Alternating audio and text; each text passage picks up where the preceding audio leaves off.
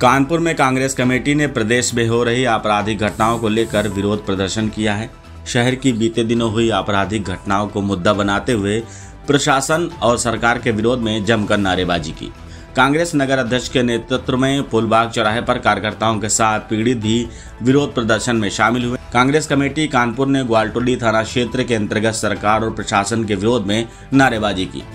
शहर के फुलबाग चौराहे पर कांग्रेस कमेटी के कार्यकर्ता इकट्ठा हुए। कांग्रेसियों ने प्रशासन के खिलाफ जमकर नारेबाजी की। नगर अध्यक्ष नौशाद अलम मंसूरी ने कहा कि प्रदेश में लगातार आपराधिक घटनाएँ हो रही हैं और दूसरी तरफ़ सरकार यह कह रही है कि प्रदेश से गुंडागर्दी खत्म कर दी गई है।